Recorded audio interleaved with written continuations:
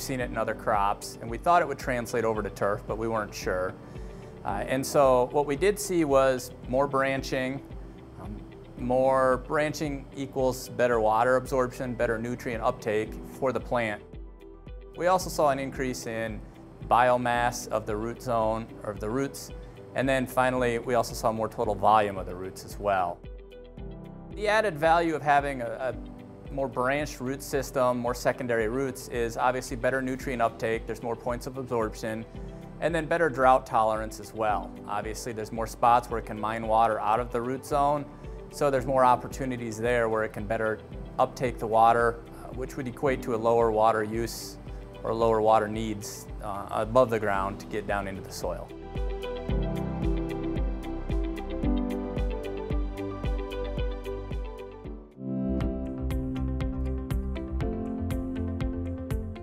Humic applications, this is what surprised us was because we had a more active microbial population, there was more turnover of soil available nitrogen for the plant to take up. And so it did a better job of releasing that nitrogen. So we were actually able to reduce by 25% our nitrogen needs. And that's a big deal. The cost of fertilizer is going up, and so we're gonna have to do something to try to help offset that in the budget line. And so when we applied the humics, we saw that we were able to reduce the nitrogen input by 25% and still have the same turf grass quality as the full rate of nitrogen.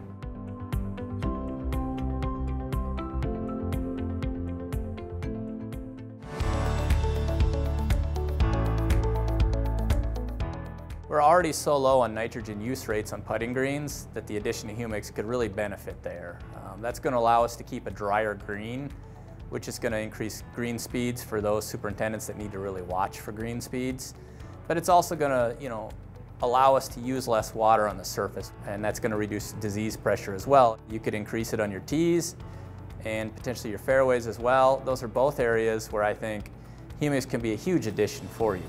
Um, again, those are your highest maintenance areas. If you can afford to do from your tees all the way to your green with humics, I think you're gonna see some real benefits there.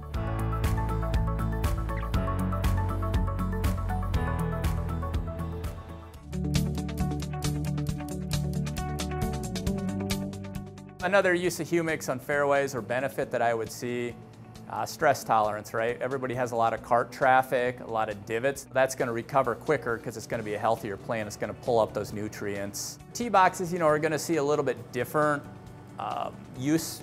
There's a lot more divots and chunks taken out of it. And so a more branched root system is also going to be a stronger root system. And so you're going to probably see a smaller divot taken from each golfer uh, because it's going to be a stronger turf that's going to be there. And then you should have quicker recovery as well. We saw, you know, anywhere from 20 to 50% through our various studies. But when we compared it to something that lacks phosphorus, that's where we saw the biggest increase of up to 50%. And that's a big deal because some states have banned phosphorus applications to turf grass. And we see limitations coming with concerns over water quality.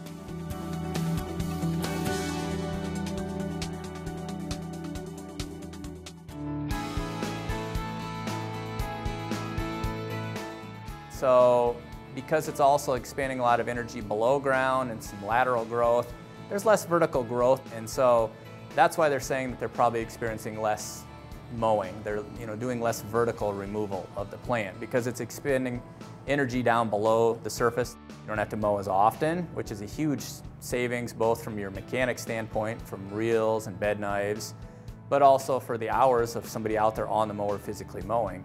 The other big deal is, you know, if you can reduce the amount of clippings, then you don't have, you know, clipping piles left on fairways.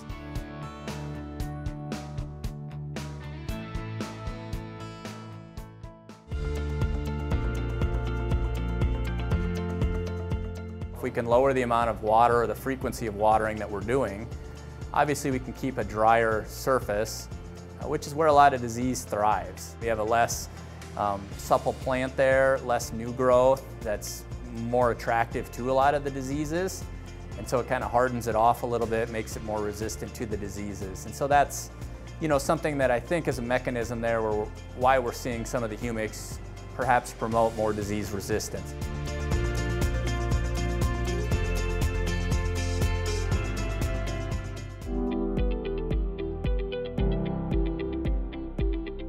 The two biggest things I think in my mind to improve the sustainability uh, is the fact that one, in the absence of phosphorus, which we're going to see, it increases the rooting, and the other big one is to reduce nitrogen.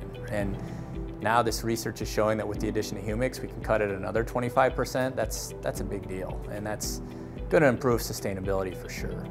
And then more branching, we're seeing, you know, better water uptake. So again, less water needs as well.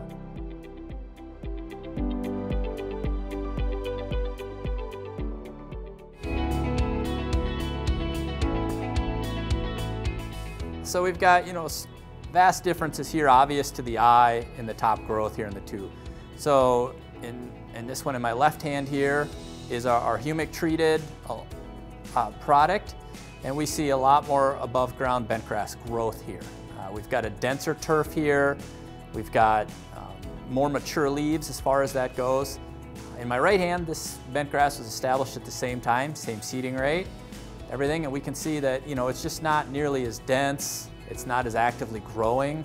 Humic treated product in my left hand be a playable surface much quicker than the one in my right hand. The really interesting thing is what happens below ground. We can start to see when we talk about humics and more densely branched, we see much more rooting activity up through here. There's a lot more white roots as far as that goes, so that's young, healthy roots coming down the side. We see a thick, channel of roots coming right down here, all the way down.